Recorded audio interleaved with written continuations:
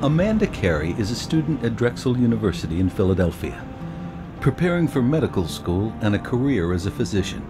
I'm studying in a graduate level program, um, which has given me the academic preparation I need to hopefully enroll um, in med school. So I'm around healthcare every day. I'm learning about you know, the ins and out of the human body and what it means to be a physician in today's society. And I think now that I want to work in pediatrics, I want to work with kids, and it's so important to give children a great head start in life, and one way to do that is preventative care, and the Affordable Care Act allows people to have the checkups they need, immunizations, things like that, that keep kids healthy and going to school and learning and carefree like they should be. Amanda is able to pursue her career because the Affordable Care Act allows her to stay on her parents' health insurance policy until the age of 26.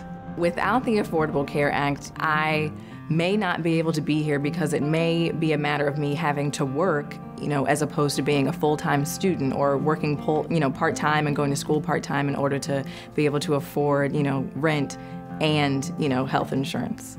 It allows me the peace of mind of being in school, knowing that I can stay under my parents' health insurance. Um, so between books and rent and groceries, that's one thing that's off my mind. That's a that's a probably the biggest part.